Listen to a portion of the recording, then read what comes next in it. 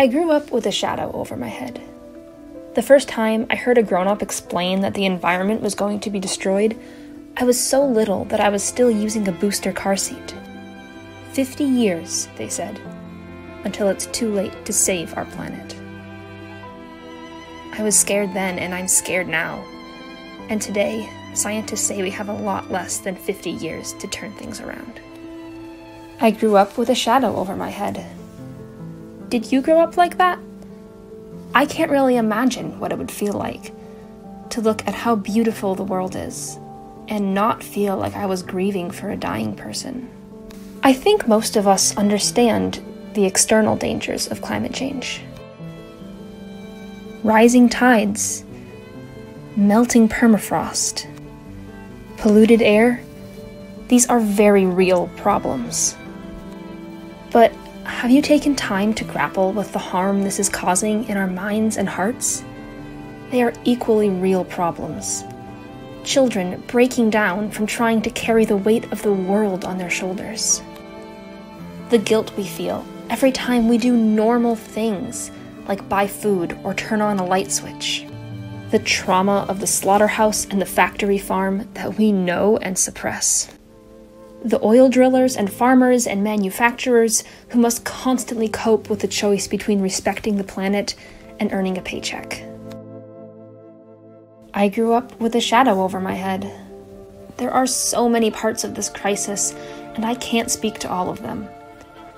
I can speak to how it feels to be a young adult on the verge of independence and know that it's not enough for me to finish my degree, get a job, and have a family. I know how it feels to believe that if I don't give everything in me to stop these ecological massacres, to literally save the world, then billions of innocent human and non human creatures will suffer. I know how it feels to wonder if my future will be only a series of disasters and crises, one after another. I know how it feels to ask myself, when I was only a child, if the human race even deserves to survive. I am not the only young person who feels this way. Maybe it's our role in the world to feel the pain that others will not or cannot feel. We have grown up with a shadow over our heads.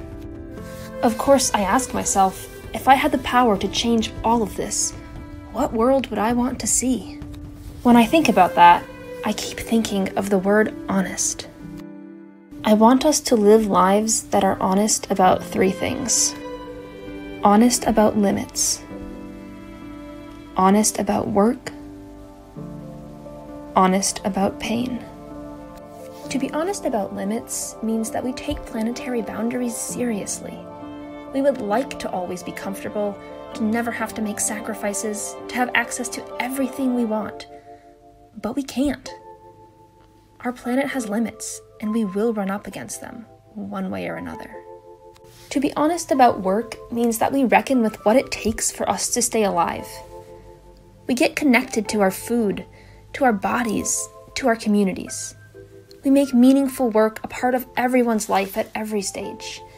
And we get used to working with our hands and feet because our bodies are the most honest things we have. To be honest about pain might be the hardest thing we ever do. It means that we surrender to this truth. Pain, uncertainty, and loss are a part of the world. And we also are a part of the world. We do not control it. Can we let go of the lie that money, possessions, and power can protect us from feeling grief and pain? Can we trust our communities, trust nature, trust time to help us handle hard things? Somewhere in ourselves, we already know these things. We know that limits, work, and pain are real. We know that without them, the world just doesn't work.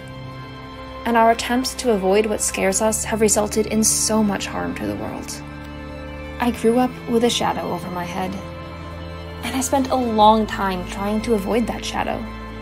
But when I faced it, when I leaned into my grief over the state of the world, I found a sense of meaning that I had never known before.